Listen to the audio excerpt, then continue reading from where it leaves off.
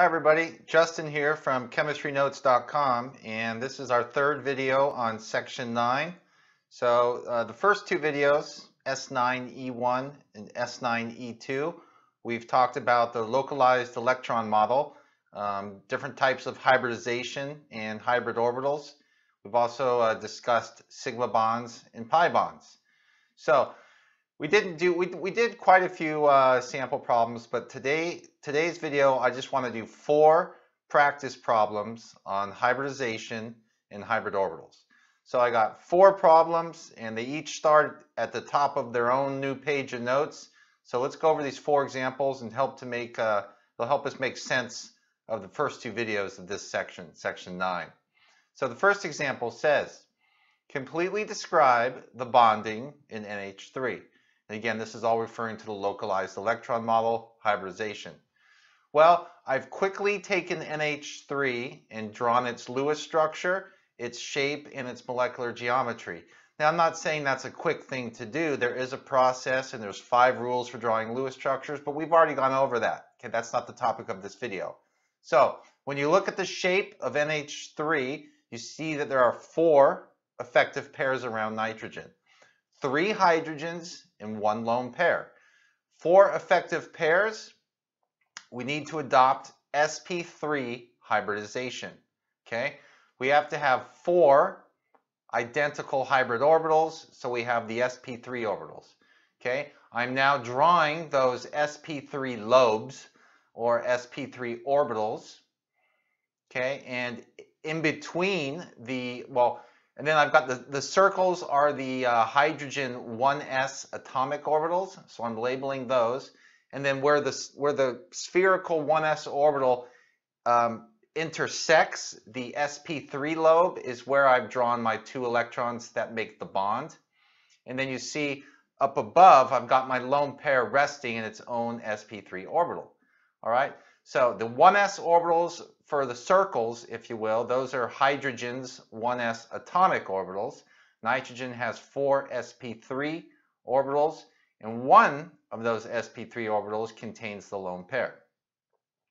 Second example, um, this one wants us to do not NH3 this time, but NH2. Completely describe the bonding in NH2. I'm sorry, N2.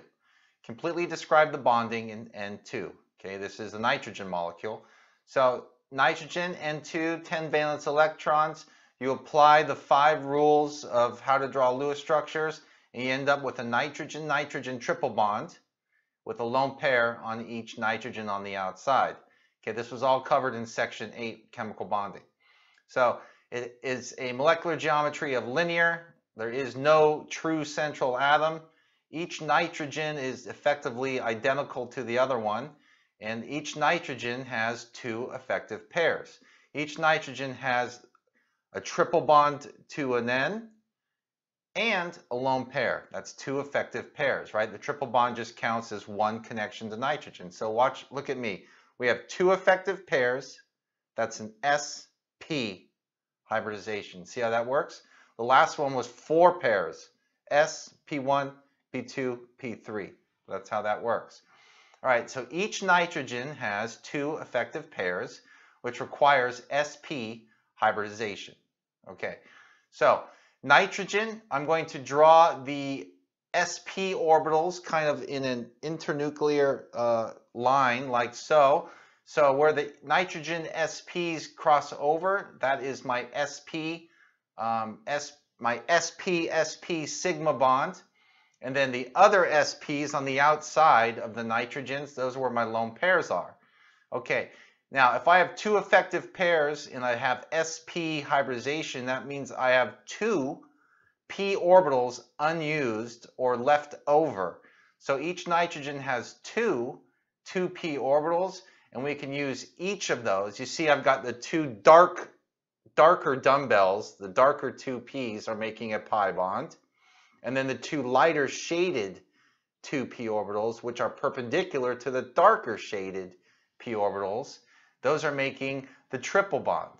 Okay, so a triple bond contains one sigma bond because there's two sp orbitals and two pi bonds. So a double bond is a sigma bond and a pi bond.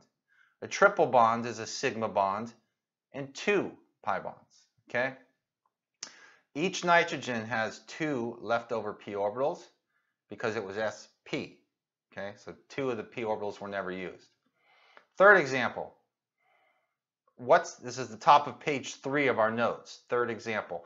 What's the hybridization of each iodine atom in the ion I3 minus? So what's the hybridization of each iodine atom in the following anion I3 minus? Now I3 minus looks nice and simple, but the Lewis structure, and I remember we did this specific Lewis structure for I3 minus in section 8, uh, it actually has a trigonal bipyramidal arrangement around its uh, central atom. It's got five effective pairs. So if we can get the Lewis structure, we can certainly answer this question, okay?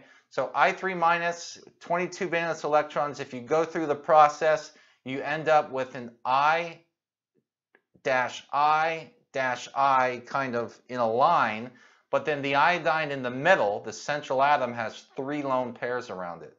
Iodine's group is period three or lower. It can have an expanded octet.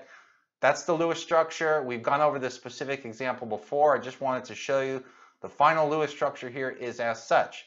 Now, how am I just pointing arrows and coming up with the hybridization? Well, look at the iodine on the far left. The iodine on the far left has four effective pairs. It has three lone pairs and a bond. Watch my hand. S, P1, P2, P3. Four effective pairs. The iodine on the far right has four effective pairs. It's got a bond and then three lone pairs. That's four effective pairs. Watch my hand. S, P1, P2, P3. Iodine in the middle has three lone pairs and then two bonds. That's five effective pairs. Five effective pairs. See my hand here? I'm going to go around. S, P1, P2, P3, D. So it's sp3d, or as we call it, dsp3. So if you're just told to identify the hybridization, you simply have to remember that saying. S, P1, P2, P3, D1, D2. Okay? All right. So this is our fourth example um, of our kind of our practice problem video, if you will. And it says, for each of the following molecules or ions, predict the hybridization of each atom so if I have the proper Lewis structure, I can predict the hybridization of each atom. We just did that with I3 minus. And then we're told to completely describe the molecular structure. Okay, so I've got three examples. I've got an A, a B, and a C. First example is XEF2. Second is CO, that's carbon monoxide. It wouldn't be cobalt, right? It's got a large O there, it's carbon monoxide. And then the third one, BF4 minus. So A, XEF2, 22 valence electrons. The little arrows there means I'm going through the process of how to draw the Lewis structure properly. I don't just throw an XEF2 together, satisfy octets. I got to have 22 valence electrons, and there are rules. Okay, so I end up with the exact same formation I had for I3 minus, really.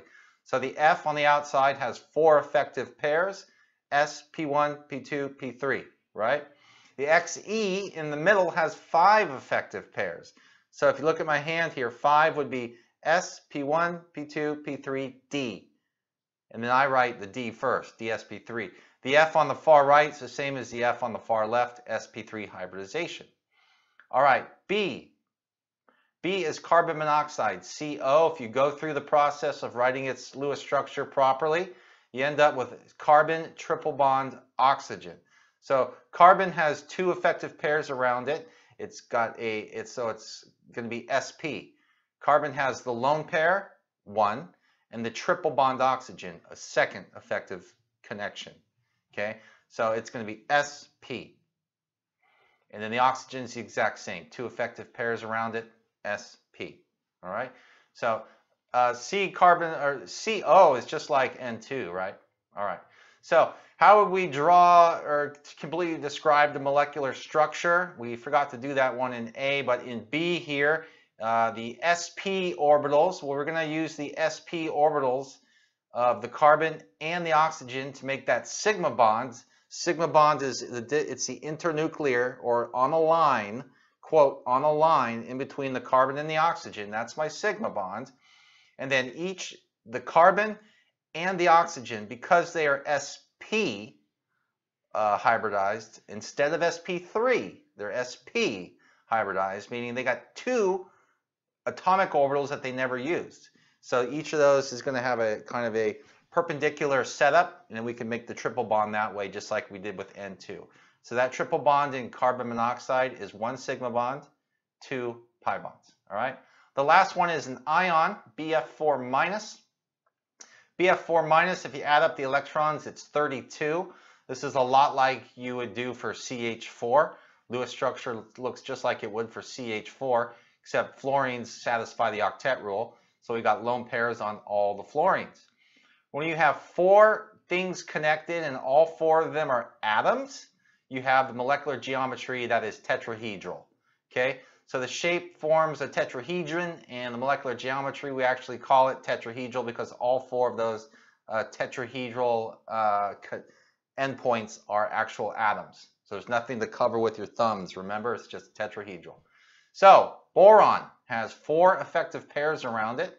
Four effective pairs around boron is S, P1, P2, P3. See the four? S, P1, P2, P3. SP3. So I'm actually calling the, uh, just to, for simplicity, I'm just going to write the fluorine atoms as a sphere. But really, each of the fluorines is also SP3, is it not? So really, the fluorines should also have four SP3 lobes coming off of it. Uh, but boron is my central atom here. I've got my four sp3 orbitals drawn kind of as lobes. And I've got them in the tetrahedral, top, bottom right, and then coming out at you and going back, right? Now, just to make note and actually write it down here, for the fluorine atoms, they are also uh, sp3. So to keep it simple, I've abbreviated each fluorine atom as a sphere. But in actuality, each fluorine is sp3 hybridized, so it would look like the boron. It'd have, instead of the boron, it would be an F, and then you'd have other, the three, three other lobes coming out and holding the three lone pairs of each fluorine atom. Okay, so it can, that would be actually a pretty, that would take a while to draw that one, but they should actually be tetrahedral themselves. All right, that's it for this video. Um, all of my handwritten notes are available at chemistrynotes.com.